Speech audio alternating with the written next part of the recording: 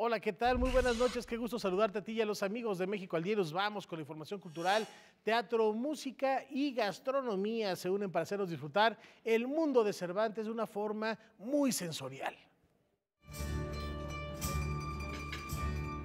31 años de dar clases del siglo de oro español en el Colegio de Literatura Dramática y Teatro de la Facultad de Filosofía y Letras de la UNAM convierte a Gonzalo Blanco en una voz calificada en la materia.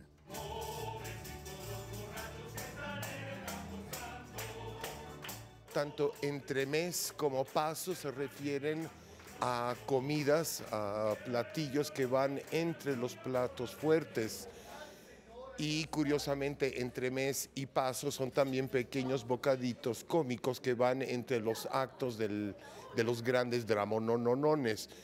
Digamos, si no fuera porque se odiaran, este, entre acto y acto de Fuente Ovejuna de Lope de Vega, presentarían tal vez algún entremés, no necesariamente de Cervantes se odiaban.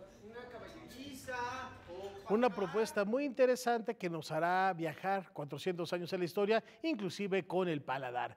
Y el actor y cantante Ari Brickman pisa terrenos metafísicos con su nuevo material discográfico, Navegando el Infinito.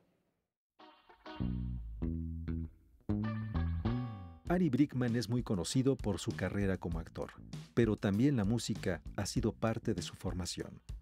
En 2009 sacó su primer disco, Todo este querer. En 2012 dio a conocer el álbum Escapar y este año promueve Navegando el Infinito. Siento que las letras de los otros discos sí van mucho más enfocadas al, a la relación de pareja, a ese tipo de, al amor y demás. Aquí también hablo de eso porque es imposible no hablar de eso, pero también hay cosas como quizá un poco más eh, metafísicas o este, quizá filosóficas, no sé. Las preguntas que nos hemos hecho los humanos siempre. Y, y también por ahí siento que hablo de la violencia y hablo de la muerte.